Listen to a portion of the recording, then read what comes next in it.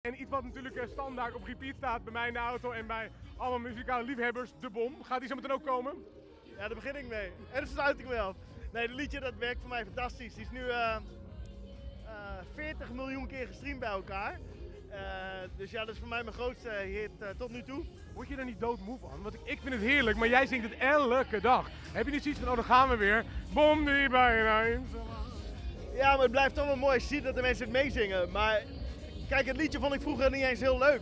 En toen moest ik, eh, op een gegeven moment zei ze, neem het nou op en probeer het gewoon. En toen werd het ook nog eens een hit. En toen zat ik met een liedje.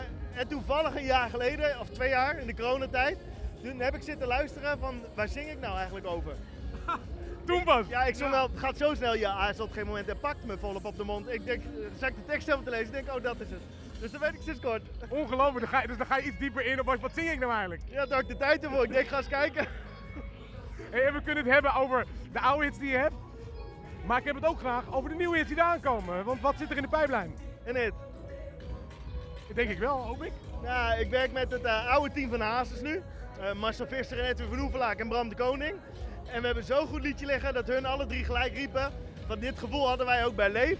En dit gevoel hadden we bij Zoet Zout Zuur. Die hebben ze ook gemaakt. Dus eh, ja, ik Wat denk, gaat, wat gaat de titel zijn? zou je me doen? Is dat een vraag of is dat een titel? Ja, voor jou een titel. nee, maar eh, ik, eh, we moesten natuurlijk op iets komen.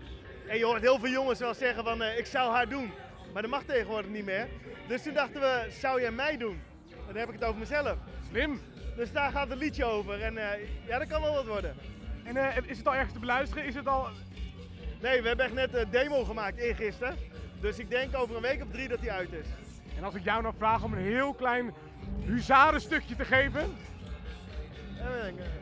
Zou jij mij doen als ik het je zou vragen? Zou jij mij doen? Voor e- niet voor even, maar voor één keer.